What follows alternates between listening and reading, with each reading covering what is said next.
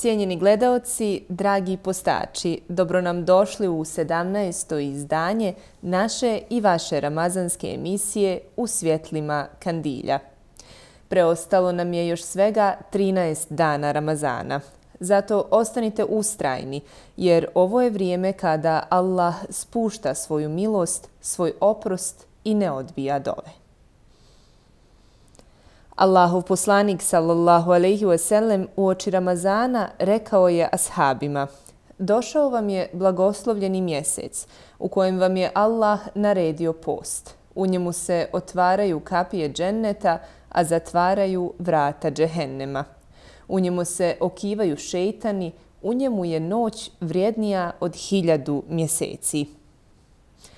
Kome bude uskraćeno dobro mjeseca Ramazana, uskraćeno mu je svako dobro.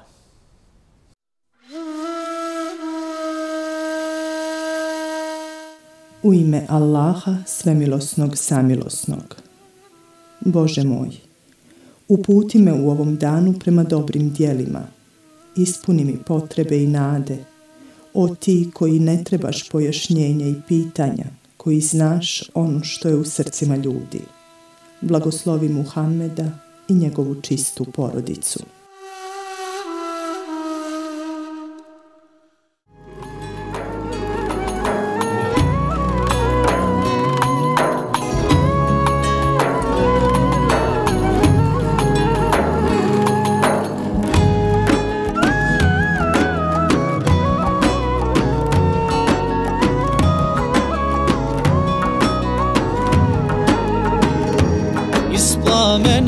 Srca mog ruh ko zora Zdati ispitanje izmamljuju sunca salavati.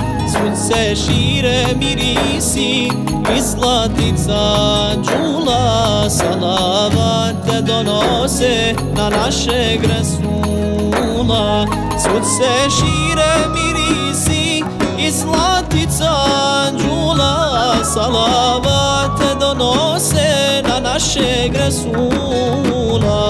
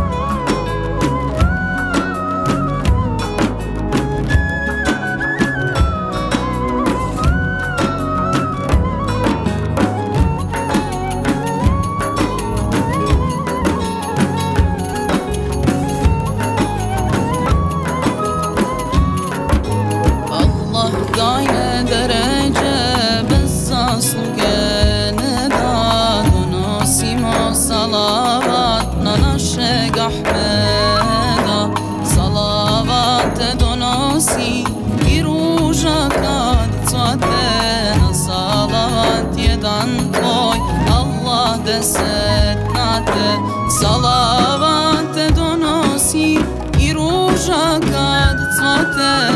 put kad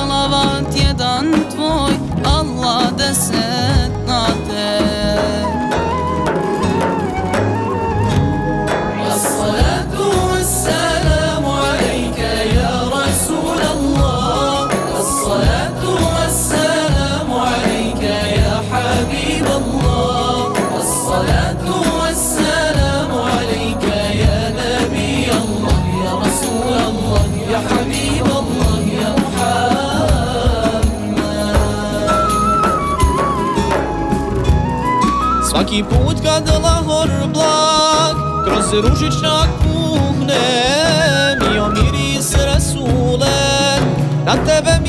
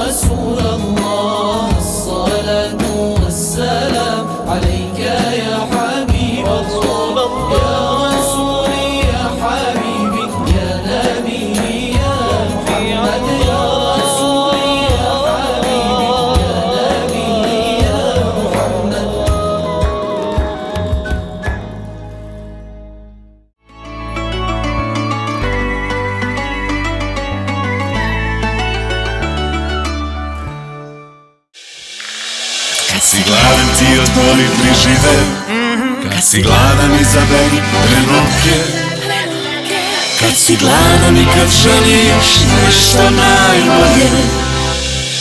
Kad si gladan ti ponovi ovo sve Mati. Moja pileća hrenovka 3 plus 2 Islamski pedagoški fakultet u Bihaću je po svojoj kvaliteti jedna od prepoznatljivih članica Univerziteta u Bihaću. Na fakultetu se mogu upisati tri studijska programa Islamska vjeronauka, socijalna pedagogija i treći novi studijski program Socijalna gerontologija. U okviru fakulteta djeluje i fitness sala i studentski dom koji koriste studenti svih fakulteta, kao i srednjoškolci. Naš fakultet je prepoznatljiv po brojnim naučnim i društvenim aktivnostima, čiji je cilj kvalitetno profiliranje naših studenta. Naš fakultet je mjesto koje vam omogućava da date smisao svom životu. Budite i vi dio naše uspješne priče. Izgradite svoj svijet u hladu. Beskrena elegancija, tehnološka izvrsnost i pouzdanost u svakom detalju. Profinorm Bihać. Proizvodnja vanjskih žaluzina, roletni, komarnika i tendi. Stil, sigurnost i povjerenje. Profinorm. 22-godišnja tradicija uspješne proizvodnje. Najpoznatiji smo na području Unsko-Sanskog kantona po kvaliteti i proizvodnom programu aluminijske roletne, komarnici, trakaste i zebra zavijese, tende i kamionske cerade, rolo i sekciona garažna vrata, klizni i stakleni sistemi. Asortiman proizvoda i usluga pogledajte u izložbenim salonima u Turiji, Cazinu i Bihaću. Ugradnja i servis na području Bosne i Hercegovine i zemalja Evropske unije. Baš SMM.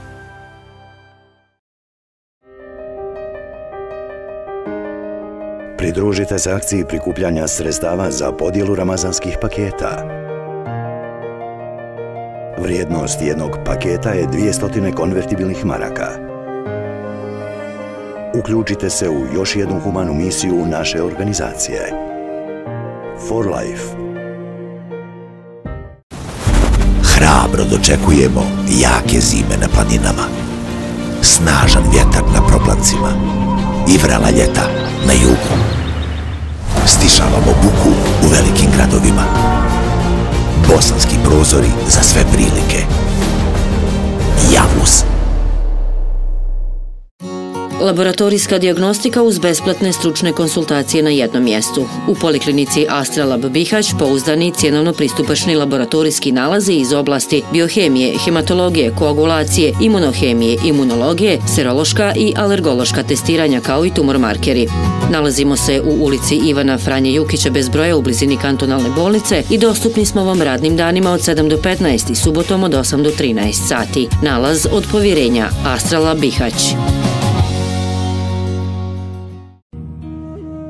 Muslimansko dobrotvorno društvo Merhamet regionalni odbor Bihać organizuje akciju Iftara 2024. Pozivamo i vas da se uključite u našu akciju. Planiramo organizovati dostavu Iftara na kućnu adresu i podjelu prehrambenih paketa za osobe u stanju socijalne potrebe i starije osobe na području Unsko-Sanskog kantona te preuzimanje Iftara u javnim kuhinjama. Podržite pripremu Iftara i ramazanske aktivnosti Merhameta, a pomoć se može sastojati od prehrambenih namirnica ili financijskih sredstava, koja možete doznačiti na transakcijski račun ili u prostorijama Merhametove kuhinje Midžić Mahala broj 3.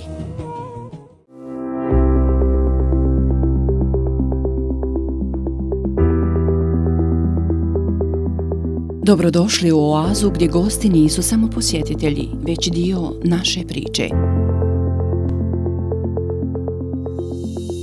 Hotel Kostelski Vuk.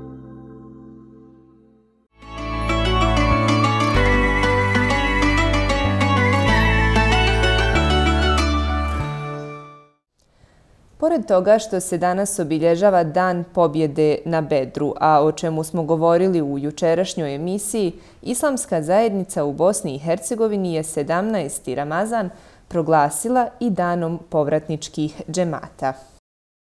Iz tog razloga, kroz rubriku Krajiške džamije vodimo vas u povratnički džemat Blaga i Japra u Bosanskom Novom. Muzika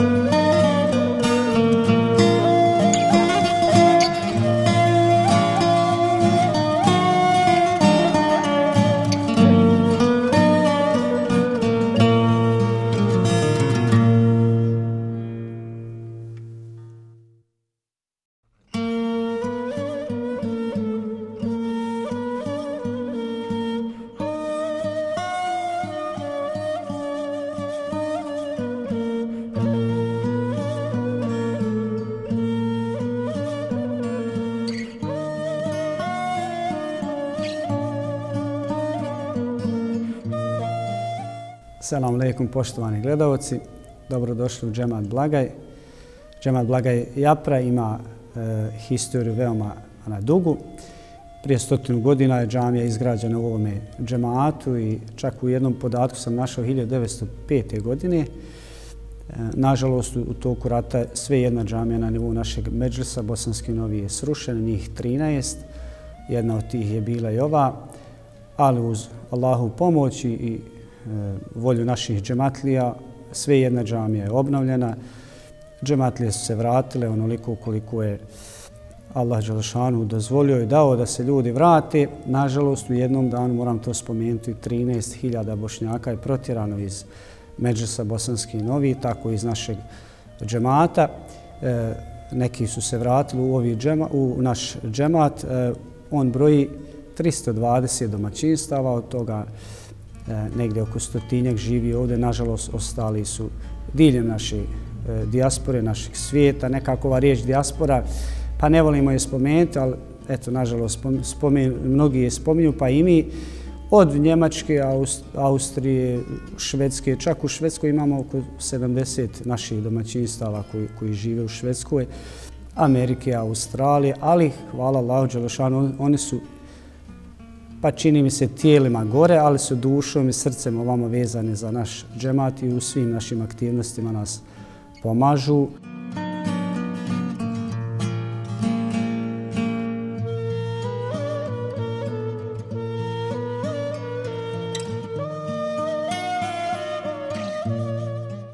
Imamo 30 djece u Mektebu u sklopu našeg džemata imamo i, moram spomenuti, karate sekciju koja broji 20 djece i nekako je sav naš fokus e, spomenut i, i stavili smo ga na, na Mekteb, na Mektebsku nastavu i kroz Mekteb imamo i obilježavamo dan državnosti, dan nezavisnosti i sve ono što djeci fali u školi kroz školski plan i program.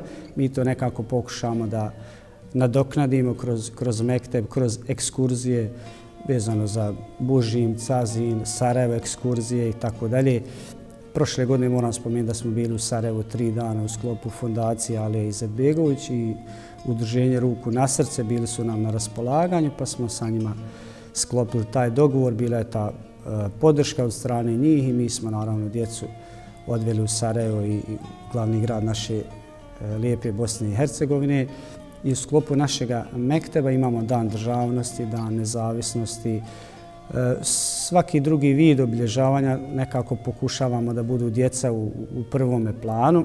I kad sam spomenuo karate sekciju, moram spomenuti da, ona, da je ona tu sedam godina i da nijednog bošnjaka muslimana nema da je crni pojas. Evo sada mi imamo sad trenutno tri kandidata koji će, ako Bog da inšala, biti majstori crnog pojasa koji su krenuli iz našeg mekteba od prvih mektebskih klupa pa sve do evo sada majstora crnog pojasa. Naravno da se mi ponosimo time i da, da to treba istaknuti.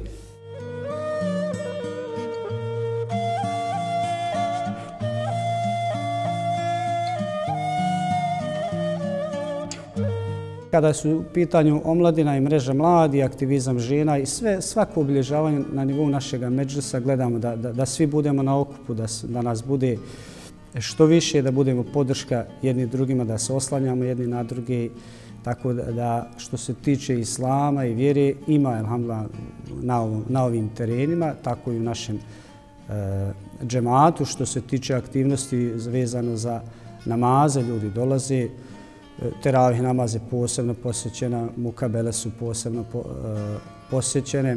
Imamo tu iftare što je nekako e, treba spomenuti da oni koji nisu sa nama, ovi iz dijaspore, ljudi uplate nam iftar, pa se mi svaku noć skoro družimo u mektepskim učionicama i, i tu smo da kad nisu već sa nama mogu nam uplatiti iftar, pa nekako budu u tim dijelom i mi spomenemo našim dovama, moleći Boga da im da bereketa i dobroga zdravlja i moram spomenuti tu podršku od strane naših ljudi iz iz cijeloga svijeta kada su u pitanju naše aktivnosti, kada je inače život u, u povratničkim džematima ovog manjeg BH entiteta, čini mi se da, da nekako oni su svjesni gdje smo, šta smo, ko smo, pa onda na svaki mogući način nas podržavaju i, i stoje, na, stoje nam na raspolaganju.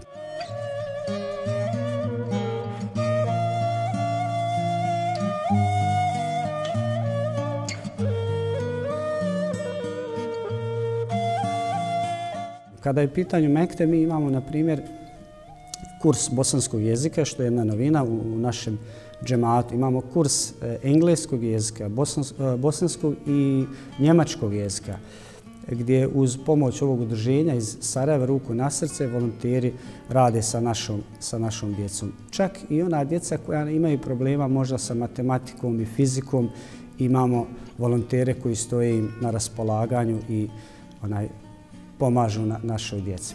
Kada je pitanje ljeto, nekako tu, tu nam je fokus stavljen na druženje naše djece iz dijaspore i naše djece iz džemata, pa se mi svake godine okupimo, napravimo kamp na, na, na stadionu našeg džemata i kada sam već spomenuo stadion, imamo i futbalski klub, e, četvrta liga Republike Srpske gdje se omladina druži, e, takmiče se u ligama i tako dalje i gdje mi na tom stadionu okupimo omladinu iz naše dijaspore i, i naših ovdje džemata koji žive tu, da bi se djeca družila. Interesantno je spomenuti da imamo djecu iz Švedske, Njemačke, Austrije, Amerike, Australije i naše djece. I samo da ih okupimo, da oni pričaju bosanski jezik, mi smo čini mi se već uspjela. Kamoli one starinske igre, trčanje u vrećama ili ne znam, ja takmičenju, nošenju, jajaj. Ono što je djece zanimljivo, što možda nemaju tamo u drugim, u drugim džematima, da im, ti, da i mi ovdje priredimo.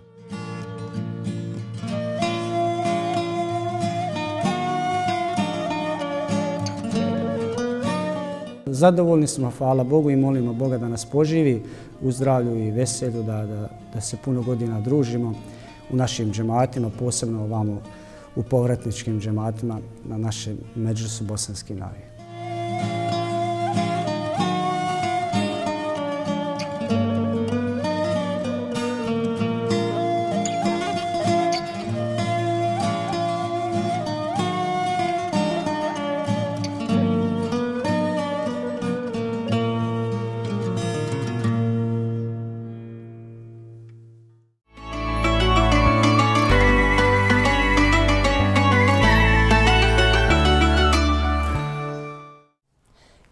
Islamski centar u Zagrebu, poznat kao i Zagrebačka džamija, centralna je džamija Mešihata Islamske zajednice u Hrvatskoj. Danas džamija služi potrebama islamskih vjernika, a sastoji se od džamije s minaretom, islamske srednje škole i biblioteke, te zajedničkih sadržaja sa stambenim i privrednim dijelom. Ovaj biser islamske arhitekture mjesto je brojnih vjerskih manifestacija, okupljanja i druženja muslimana iz cijelog svijeta. Česti gosti u islamskom centru su i krajišnici. U okrilju kompleksa nalazi se i postavka ostataka prve zagrebačke džamije, monumentalni mihrab i mimber, te dio ornamentike i kaligrafije. Podsjetimo, inicijativa za gradnju džamije u glavnom gradu Hrvatske datirala je još iz 1912. godine. Međutim, tek 1944. je pitanje gradnje džamije pokrenuto, te je tadašnji dom likovnih umjetnika kojeg je projektirao Ivan Meštrović preuređenu džamiju uz koju su podignute i tri minareta. Svega nekoliko godina kasnije, gradske vlasti donose odluku da se džamija iz tih prostora iseli. Minareti su srušeni i uklonjen je svaki detalj koji bi podsjećao na džamiju. Gradnja sadašnje džamije i islamskog centra završena je 1987. godine. O njenom otvorenju zapisano ostade. Jednom je bila misao. Netko ju je zatim pretočio u riječ, a zagrebački muslimani je zapisaše ovdje podno Zagrebačke gore u Folnegovićevom naselju u slovo Zagrebačka džamija.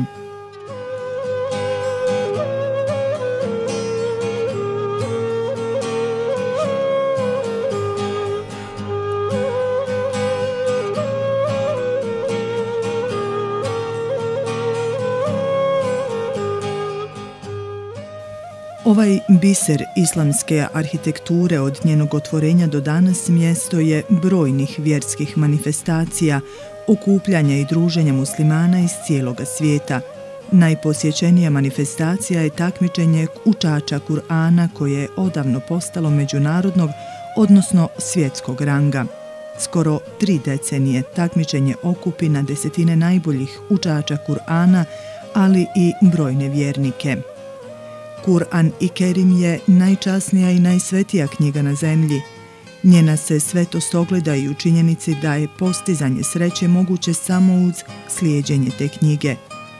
Čitanje ili učenje ove knjige donosi sevap, a njeno značenje je zakon po kojem muslimani postupaju. Kur'an i Kerim ima nevjerovatno dejstvo na čovjekovu dušu. Kako voda oživljava osušenu zemlju, tako Kur'an djeluje na srca – On unosi novi život i radost u čovjeka, izvještava ga o Dunjaluku i Ahiretu, vodeći ga ka beskrajnoj sreći. Za učače Kur'ana kažu da su bulbuli Islama. A'udhu billahi minas shaytanir rajim. Fa amma alladhina amanu wa 'amilus salihati fayuwaffihim ujurahum wa yazidu pomogni. Ljepotu Kur'ana ne može ništa zamijeniti, rekli su nam u Zagrebačkom islamskom centru. Slušanje Kur'ana donosi Allahovu milost, nur i velike nagrade. Ono je uzrok upute čovjeka. Svjesni su toga krajiški vjernici koji u velikom broju godinama pohode ovu manifestaciju. Dolazio sam redovno od to, to vuče, alhamdulillah, ko sluša Kur'an, blago njemu. Kur'an sluša, to je bolje nek išta drugo. Ja, koliko ja znam. I onda ja sam, još sam stari čovjek, ali evo, malo je ovdje ko ja. Imam 86. godina ali još, alhamdulillah, mogu hodati, mogu klanjati u kaj kad sam bio od 50, 40, sve zdravlje, alhamdulillah. Vjernici koji uče Kur'an su kao plod čiji su i okus i miris lijepi. Na unutarnjem duhovnom planu taj plod za mumina je iman – i on kroz njega osjeća slast, zadovoljstvo, svrhu, cilj i značaj ovozemnog života. Zato je ovo takmičenje učača Kur'ana prilika za duhovnu okrepu. To je zaista jedna, jedan festival Kur'ana koji se odvija ovdje već 28. godinu i meni je drago da, da ovaj dio zapadne Bosne kompletno krajina je ovdje s nama svake godine i evo, zaista eh, ta kultura praćenja Kur'ana i slušanja Kur'ana je, mogu slobodno kazati, najizraženija u tom dijelu Bosne i Hercegovine u krajini. Jer to pokazuju oni to danas doći i cijeli dan biti i večeras kasno se vratiti, to samo mogu oni koji stvarno vole i uživaju u učenju Korana. a to su, to su, to su naša braća iz krajine i sestre. To iz dubine srca kažem da kada dolazi, kada da nam dolaze pogotovo džematlije iz krajine ovdje, mi se zaista osjećamo bolje, osjećamo se jačim na nek, kao da nismo usamljeni. I one zaista nam uh, uljepšavaju svako takmičenje. Ja ovom, ovom prilikom se zahvaljujem svima koji su bili i molim Allaha Želešanu da se ako Bog da do godine nađemo ponovo u zdravlju i rahatu. Hvala Bogu. Mi mislimo da je bereket s Kur'anom i u džami i okupiti toliko ljudi da se dva, tri dana druže radi Kur'ana, to je velika stvar. I baš kao što je krajina vezana za Zagrebačku džamiju, te su krajišnici česti gosti u njoj, posebno u danima međunarodnog takmičenja učača Kur'ana, tako su i zagrebački muslimani, čiji korijeni potiču najčešće iz Bosne, povezani sa ovim krajem.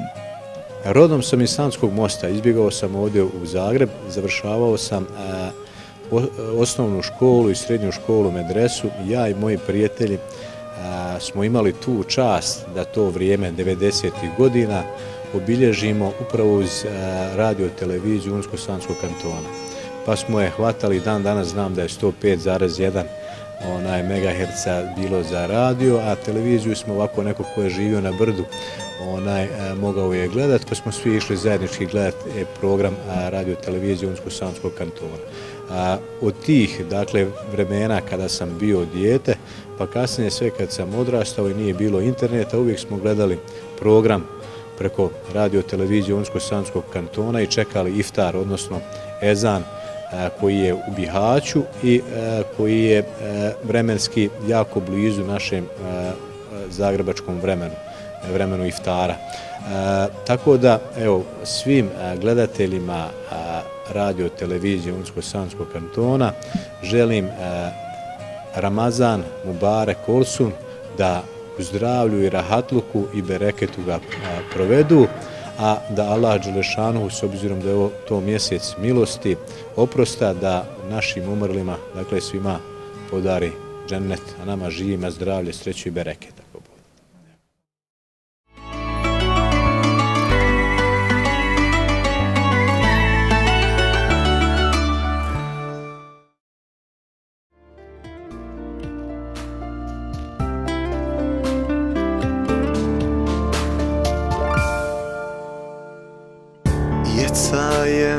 zovem ja Jer bez tvoga suneta Ja sam putnik bez cilja Jecajem te zovem ja.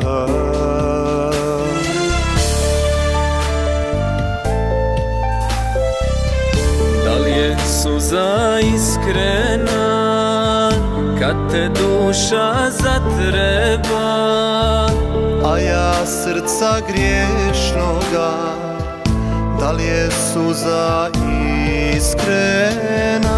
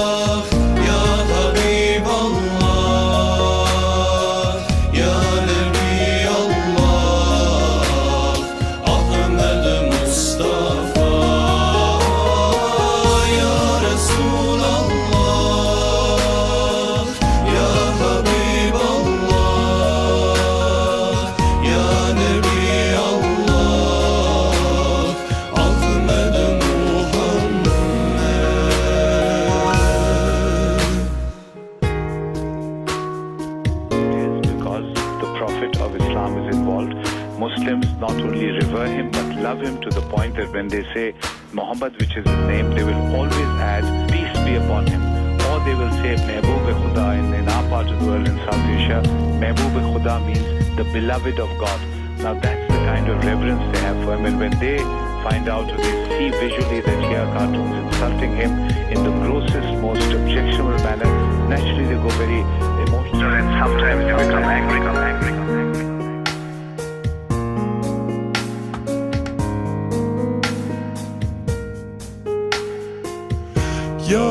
Mustafa.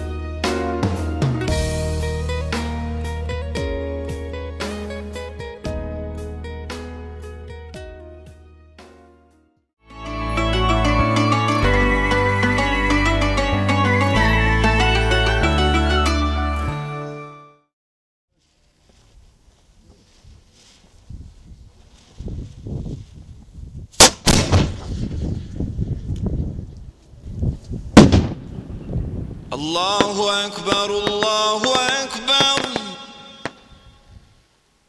الله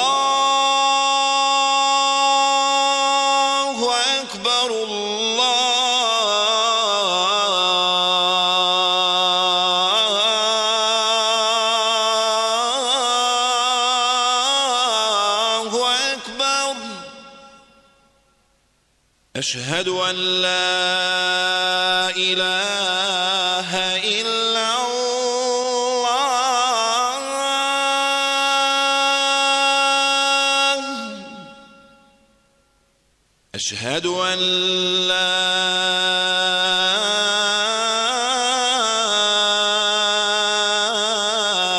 إله إلا الله.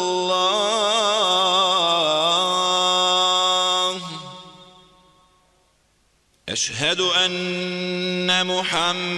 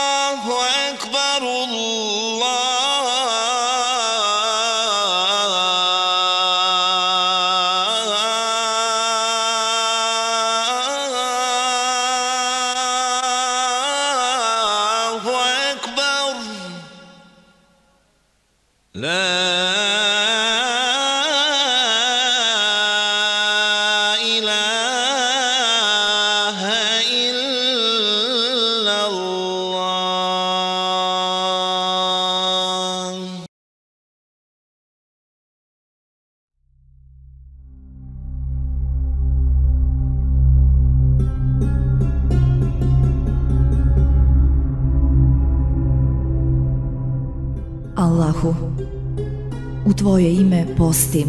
U Tvoje ime postim. U Tebe vjerujem. Vjerujem. U Tebe se uzdam. I Tvojim blagodatima se iftarim.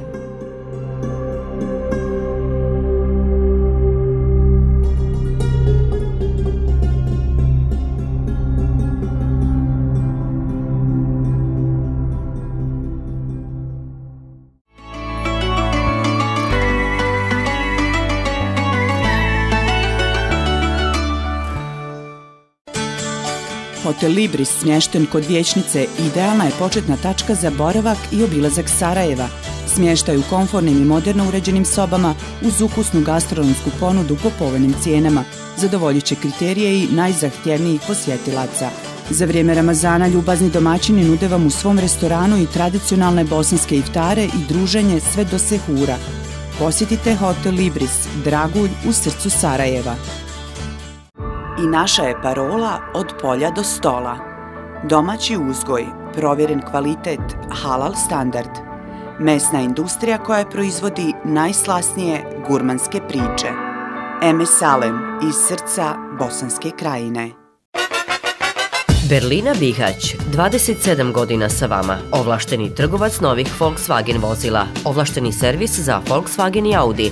Prodaja rabljenih vozila sa garancijom te originalnih dijelova i dodatne opreme. Berlina posjeduje rentakar, autolakirnicu, punionicu za električna vozila, a možete obaviti i proces homologacije vozila. Berlina Bihać, garancija kvalitete. Transformišite svoj prostor u oazu udobnosti i elegancije uz naše usluge završnih radova u građevinarstvu Final Color Bihać.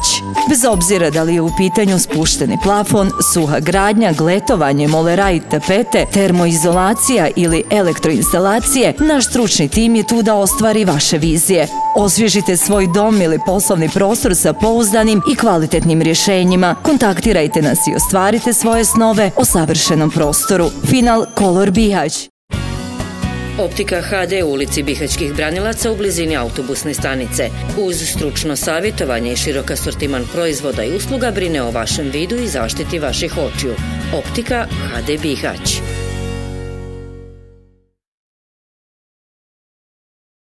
Koristimo iskustvo, pronalazimo rješenja, stvaramo trendove. Za vašu kuću, stan ili poslovni prostor firma Top Norm proizvodi i ugrađuje PVC stolariju njemačkog profila Kommerling i alu stolariju profila Fel, vrhunske kvalitete, modernog dizajna te potpuno prilagodljivu prema vašim željama. Top Norm vam također pruža kvalitetnu i profesionalnu uslugu ugradnje PVC i alu stolariju što se možete uvjeriti sami. Posjetite naš proizvodni pogon i izložbeni salon u ulici Hamze Hume BB Bihać u poslovnoj zoni Kompeteksa. Tiho, toplo i sigurno.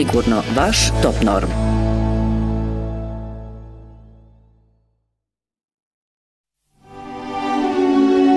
I uz najljepši Mubarek mjesec, mjesec Ramazana.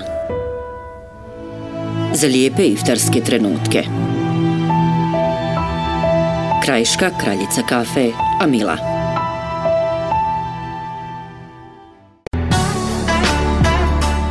Napravite razliku u zajednici. Pridružite nam se u našim dobrotvornim projektima i zajedno stvorimo pozitivne promjene. Svaka vaša podrška omogućava nam da proživimo pomoć onima kojima je najpotrebnija. Budite dio pozitivne priče i pomozite nam graditi bolji svijet za sve. Vaš doprinos mijenja živote. Merhamet Bihać, regionalni Merhamet Muskosanskog kantona na adresi ulica Beden broj 10 iza glavne pošte u centru grada Bihaća. Uplate možete izvršiti u pošti ili bilo kojoj banci na žiro račun. Sve informacije na broj telefona 037 223 095. Dobrodošli u Safir, vaš omiljeni hijab shop u Cazinu. Bez obzira da li tražite haljine za svadbu, maturu ili za svakodnevno nošenje, za sve uzraste Safir ima sve što vam je potrebno. Posjetite nas u Cazinu, ulica generala Izetananića 59, a pronaći nas možete i na našoj Facebook i Instagram stranici.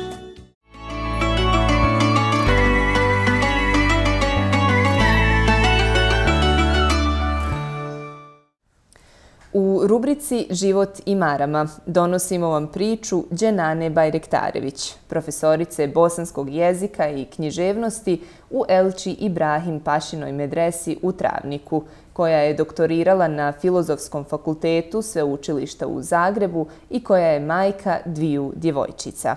Marama je sastavni dio mog identiteta, poručuje profesorica Bajrektarević.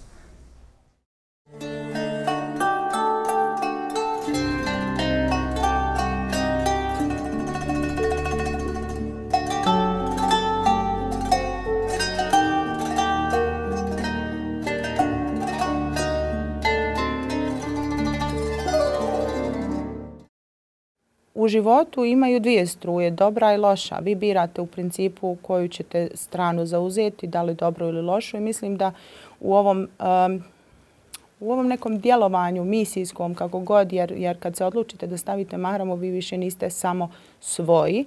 Vi ste dio jednog kolektiva i uh, ujedno predstavljate taj kolektiv bilo gdje da se nađete kada predstavljate taj kolektiv, nužno će i vaše reakcije biti uvjet da se prišiju, da kažem, tom kolektivu određeni negativne ili pozitivne stvari.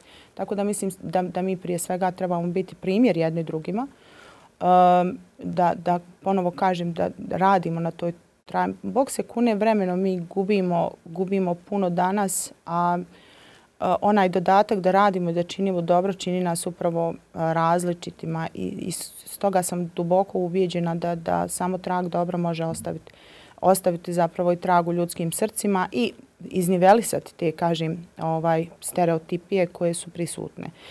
Um, ono što sam naučila evo godinama iz ove perspektive, mislim da bismo se trebali riješiti uh, problema rekla kazala, i da bismo trebali proaktivno djelovati na svaki vid, na svaki mogući vid diskriminacije koju bilo koja djevojka, žena, uh, bez obzira bila ona pod mahramom ili ne, uh, da, da se moramo boriti protiv toga na jedan civilizovan i zdrav način.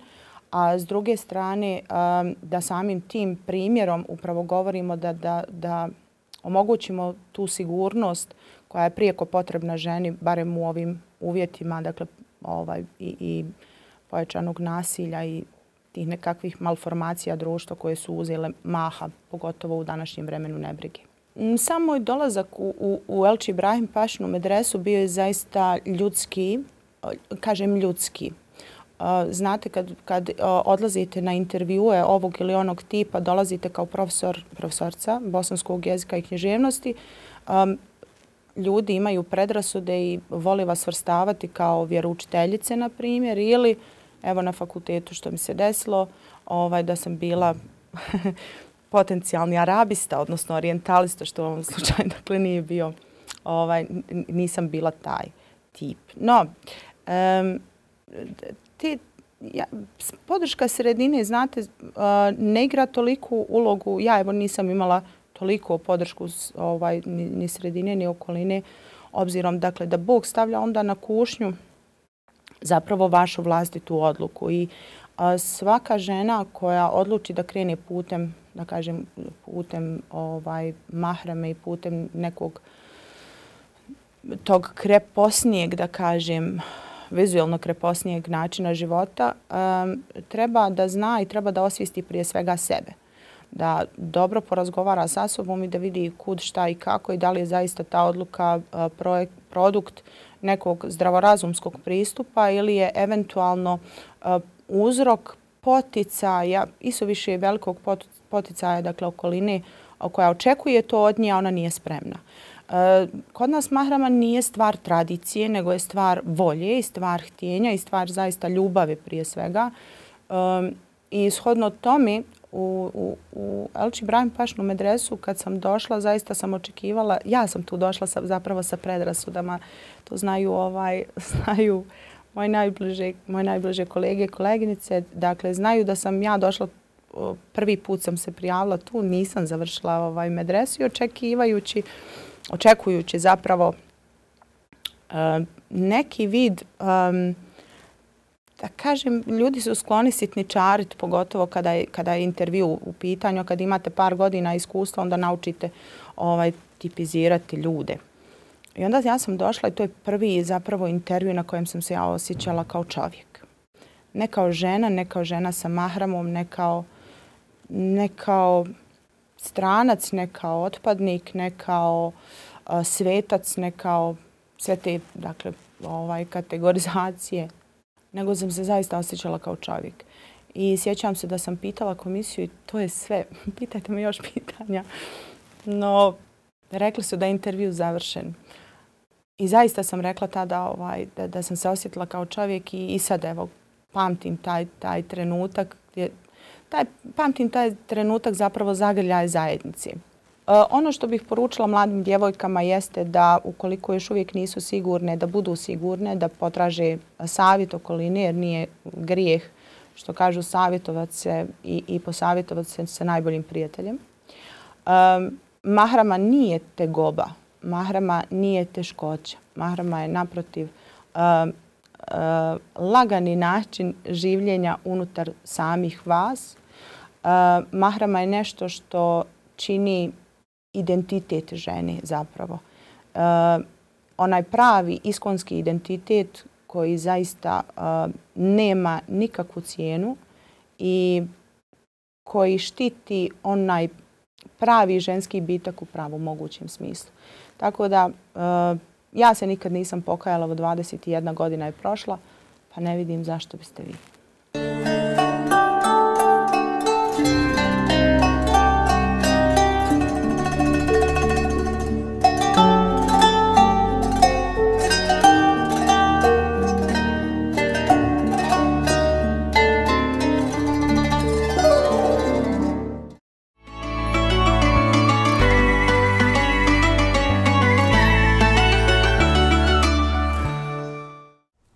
Da je muzika univerzalni jezik emocije, tolerancije, mira i ljubavi, dokazuje mješoviti međureligijski hor Harmonija iz Sanskog mosta, ostovan 2012. godine. Od samog početka, hor izvodi tradicionalnu muziku Balkana, pjesme mnogih zemalja Evrope, Amerike, Azije, pop i rock obrade, dijela starih majstora, a posebno su poznati po izvođenju duhovne muzike. S izvedbama Ilahija kao i božićnih pjesama predstavljaju se svake godine publici u Bosni i Hercegovini i regiji i svaki njihov nastup je izuzetno zapažen. S radom i uspjesima članova ovog sanskog hora upoznaju nas Nermina Zulić i Ekrem Halilagić. Na inicijativu Alme Karabeg, profesorice muzike i Vahidina Omanovića, direktora Centra za izgradnju mira u Sanskom mostu, u ovom gradu 2012. godine pokrenut je međureligijski hor Harmonija. Ideja je bila osnovati horu koji bi se mogli uključiti svi oni koji vole muziku, pjesmu, ljude, bez obzira na starosnu dob, nacionalnost, religiju i bilo koje drugo opredjeljenje. Hor u kojem bi mogli pjevati sve ono što želimo s tim da poštujemo ljudske vrijednosti. Od samog početka hor je izazvao pažnju ljubitelja pjevanja, a članstvo je bilo omogućeno i onim koji do tada nisu imali pjevačko iskustvo. Allah.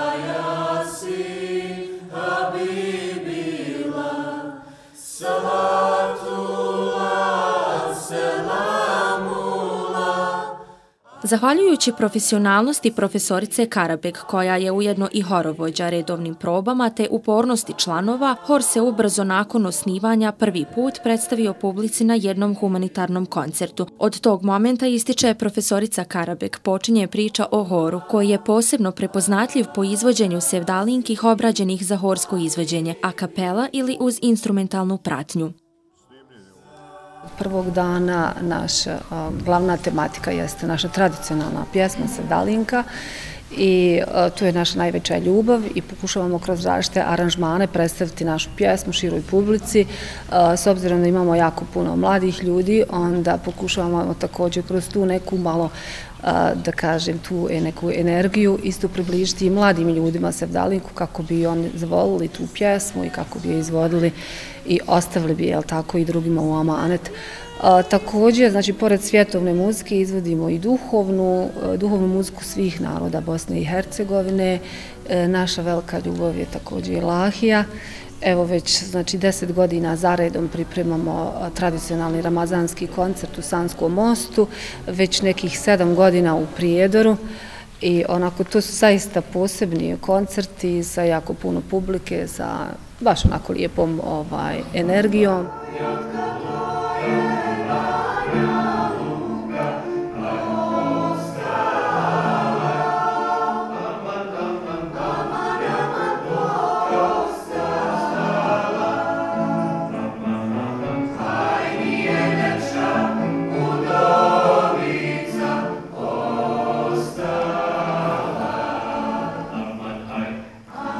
Kažu ako ne voliš svoje, nećeš znati cijeniti ni tuđe, jel tako? Pa onda nešto što nas sve treba, jel, da ispunjava je naša pjesma, naše, naša sevdalinka koja je, evo, zaista u, sve prisutna u horu, od onih najmlađih da nekako krenu sa tim izvođenjem, onda ovih malo starijih e, generacija, jeli, da nekako svi skupa e, dišemo, živimo to nešto naše bosansko izvorno, da njegujemo, da prenosimo s generacije na generaciju i mislim da to uspijevamo jer kažu ako znaš pjevati Sevdalinko, onda znaš pjevati i ostalo.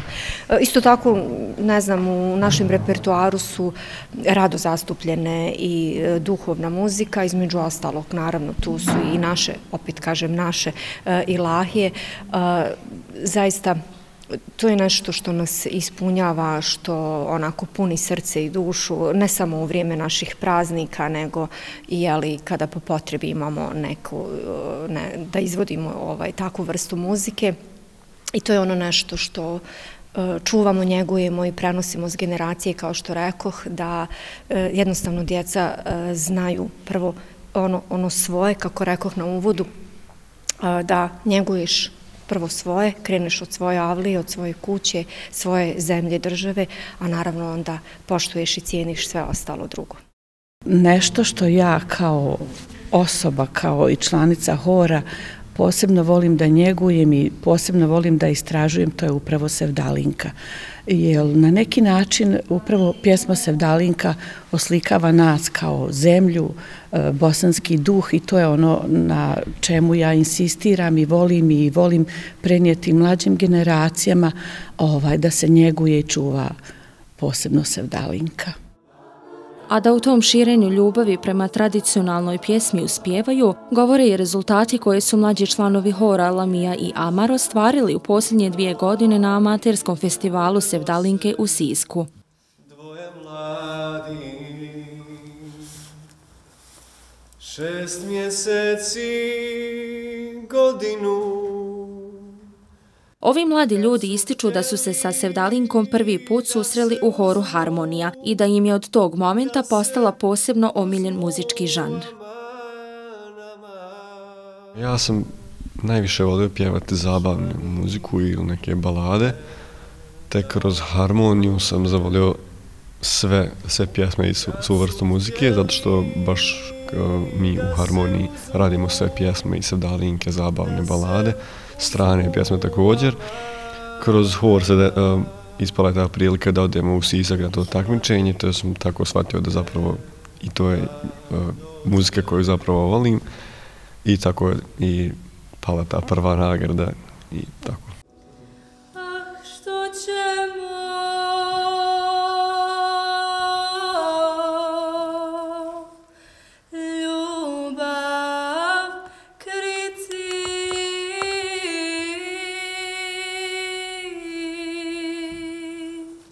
Volim pjevat sve žanrove, tako i lahi i sevdalinke. E, kao što je moj kolega prethodno spomenuo, e, takmičili smo se u Sisku i e, taj festival mi je jako drag jer tu steknemo razna poznanstva jer tu ne dolazimo samo mi tipa iz Sanskog mosta Prijedora jer dolazi ljudi iz Zagreba, ima i Siska i jako lijepo čuti nekog koji iz Zagreba da izvodi našu tradicionalnu muziku. Također, E, pjevanje sevdalinki u meni budi neku ljubav i to sam odnedavno shvatila.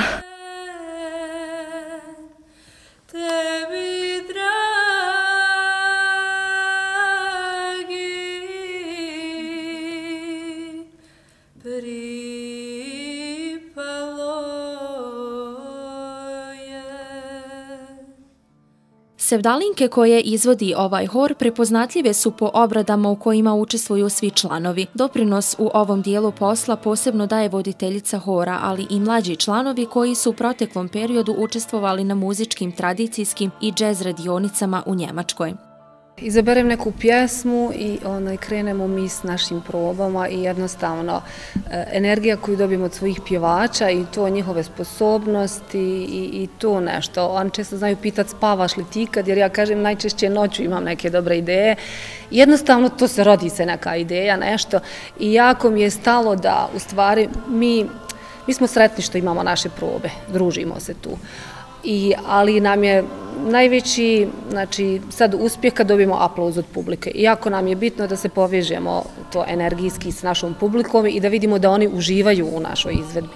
I eto tako nekako kad to sve povežete, te neke momente, ja znam nekad pred sami nastup dobijem neku ideju, nešto promijenimo, nešto što mislim da bi toj publici pasalo možda nešto malo drugačije od one od prošlog nastupa i tako dalje s izvedbama tradicionalne bosanske pjesme Sevdalinke te Ilahija. Članovi hora su se predstavili u brojnim gradovima Bosne i Hercegovine, regije i Evrope i gdje god da se pojave, kaže profesorica Alma, srdačno ih dočekuju. Publika, pa i ona koja po prvi put čuje ovakve izvedbe, bude oduševljena, a neki čak izraze želju da ih nauče. To su posebne emocije, to ja vama ne mogu opisati. Recimo, evo, protekli vikend mi smo bili u Sisku na 11. amaterskom festivalu Sevdalinke i mogu pohvaliti svaki put brojnost publike koja dođe da isprati taj ovaj koncert, da podrži pjevače, amatere, da podrži mlade generacije, a posebno bi željela da pohvalim i, i, i te starije generacije koje ovaj učestvuju na koncertu, ovaj to su mahom ljudi iz Hrvatske, žene, muškarci koji isto tako rado pjevaju pjesmu Sevdalinku i to je ono nešto što mene ostavlja onako ovaj, interesantno mi je kako ljudi iz druge zemlje vole i pjevaju Sevdalinku. I svaki taj koncert je priča za sebe. Ljudi koji su muzički obrazovani, njima je jako izazovna naša muzika, naš Sevdah i Lahija. Već par godina je u Sanski most su dolazila jedna veća grupa horskih pjevača, profesora muzike iz Amerike. I prvu godinu su u biti oni tražili da uče samo sevdavniku. Međutim, kad su slučajno čuli za Ilahiju, kad se otpjevala i izvala jedna Ilahija, znači narednih godina su uvijek tražili da to bude pola sevdaha, pola Ilahije, jer su oduševljeni našim, našom muzikom, tim melizmima, to što sadrži ovaj, taj nekakav merak, ali jako je teška za pjevanje izazovna ovaj, naša melodija. Isto tako kad putujemo, kad držimo naše koncerte e, cjelovečernje ili bilo gdje, znači Sevdalinka vam je uvijek ono što dira u dušu i eh, evo prije, ne znam, sad nekih 6-7 godina vodila sam jednu grupu mladih ljudi u HAM u, u Njemačku gdje su bile organizovane radionce tradicionalne muzike i gdje se između ostalog radila i naša Sevdalinka. I onako, baš smo bili ponosni, znate, u, ono, u Hamu, da, ne znam, bile su djeca, mladi ljudi iz sedam zemalja Evrope i gdje su svi pjevali snijeg pade na behar na voće. To je to. Bitno je pomenuti da u okviru udruženja Harmonija djeluje i dječji hor Melody, koji okuplja brojne mališane iz ovog grada. Bitno je, ističe profesorica Alma od ranog djetinstva kod djece razvijati ljubav prema muzici, bez obzira da li su djeca posebno talentovana ili ne. Neki od mladih članova će muziku izabrati kao poziv, drugi će se opredijeliti za druga zvanja, ali ljubav prema muzici i pjevanju stečena u djetinstvu ostaće trajna primjer zato su upravo Lamija i Amar, članovi koji su zbog školovanja preselili iz Sanskog mosta u Bihać, ali su i dalje ostali aktivni članovi hora. Trenutno sam treća godina. A, najčešće to bude tako što nam nasnica šalje jel, materijale koje sviramo i radimo na horu, to mi provežbamo individualno i onda preko vikenda najčešće idemo kuću u Sanski most na probe i na nastupe. Nekad zna biti naporno, ali to je ljubav prema muzici, tako da nama ništa nije naporno i teško. Prvenstveno ja od malih nogu pjevam i volim muziku, te sam upisala u trećem razredu osnovne škole e, muzičku školu i u toku svog muzičkog školovanja, kako me sjećanje služi, mislim da je bio drugi razred, e, profesor Calma me pozvala da dođem na probe Hura Melodiji tada i svidjelo mi se kada sam bila u Melodiju i ostala sam također i kasnije sa odrastanjem sam prešla i u harmoniju. Stekla sam mnoga prijateljstva i iskustva i to je stvarno jedna prelepa porodica, jedna prelepa priča što svaki grad bi trebao da ima. I nikad mi nije mrsko eh, da krenem iz Bihaća i dođem na probe eh, jer smatram da je to dio mene. Hor Harmonija djeluje već deset godina. Djelovaće sigurno i onim koji dolaze, gostujući u brojnim BH i evropskim gradovima, izvodeći se vdalinku te duhovnu muziku povodom Bajrama, Božića i drugih vjerskih praznika svih naroda, kao i dijela domaćih i stranih pop, džez i rock izvođača. Poklanjajući zaljubljenicima muzike nezaboravne trenutke koje će dugo pamtiti, želeći da ponovo prisustvuju događajima na kojima nastupa ova raspjevana sanska ekipa.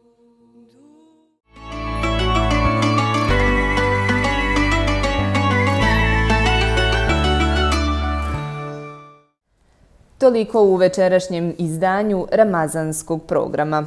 U vašoj pažnji preporučit ćemo sehursku emisiju našeg radija Zore Allahove milosti. Mi smo sa vama i sutra u isto vrijeme.